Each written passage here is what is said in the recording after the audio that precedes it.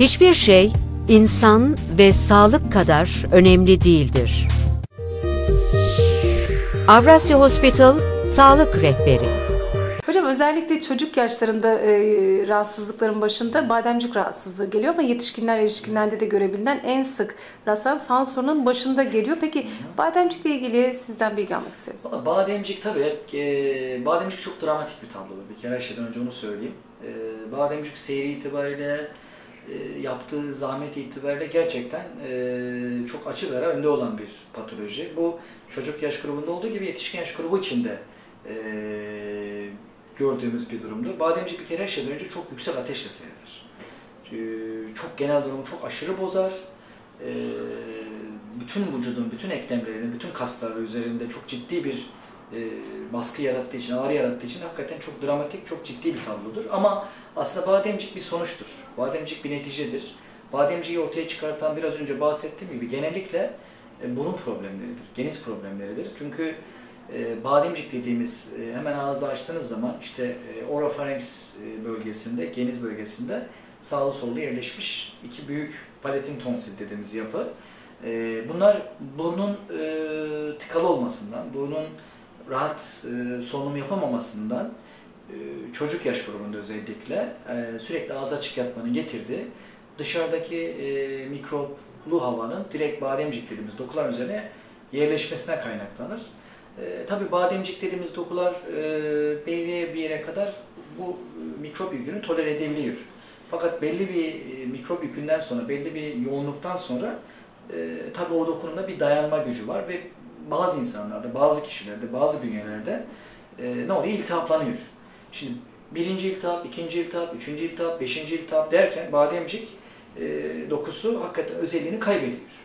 Artık bademcik mikropları dışarıdan tutan, mikropları hani vücudumuza tanıtan görevini yapma görevini yapmadığı gibi tam tersine mikropların çoğaldığı, mikropların yerleştiği, mikropların orada çoğalıp vücuda yayıldığı bir yerde bir e, vücudun zayıf noktası haline geliyor.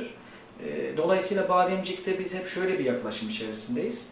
Burada sıklık ve çocuğu kişiyi ne kadar etkilediği bizim için çok önemli bir hale geliyor. E, bademcikte burada önemli olan bir kişinin, bir çocuğun bu bademcik enfeksiyonundan hangi sıklıkta ve ne düzeyde e, zarar gördüğü.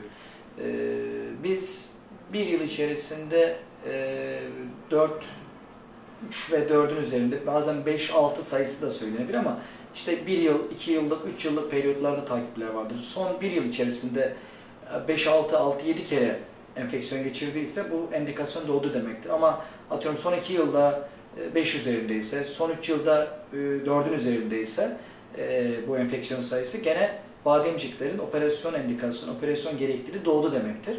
Ama bir de bademciklerin sayısı enfeksiyon sayısından ziyade iri bademcik tarzında nefes almasını engelleyen bir bademcik boyutuna ulaştıysa biz orada sayıya bakmadan, enfeksiyon sayısına bakmadan e, erken dönemde operasyon önerebilmekteyiz. Tabi bademcik e, akut dönemde, ilk dönemlerde ilaç tedavisiyle tedavi ama biraz önce bahsettiğim gibi olay belli bir sıklığı, belli bir e, zararı getirdiği zaman da kaçınılmaz bir şekilde tonsilektomi gerektirebilmekte. Çünkü biraz önce de bahsettiğim gibi bademcik iltihabı çok ağır seyretmekte. E, ve belli bir sıklığın üzerine geçince romatizmal hastalıklar dediğimiz romatizmal kalp rahatsızlığı, romatizmal böbrek ve romatizmal ekrem hastalığının en büyük e, sebebidir. E, dolayısıyla böyle ciddi bir olaya dönüşme potansiyeli yaratan bir dokunun tedavisi kaçınılmazdır ve cerrahi de bazı durumlarda kaçınılmaz hale gelebilmektedir. Peki hep halk arasında söylenir yazı, kışı ameliyatların var mıdır özellikle? Yok, bademcik ameliyatlarının bir kere her şeyden önce ne yaşı vardır, ne yazı vardır, ne kışı vardır. Ee, bademcik ameliyatı dediğimiz ameliyat kişiyi, çocuğu e, etkilediği dönemden itibaren indikasyon doğmuş demektir. Bunun yazı kışı beklenmez. Hiçbir şey insan ve sağlık kadar önemli değildir. Avrasya Hospital Sağlık Rehberi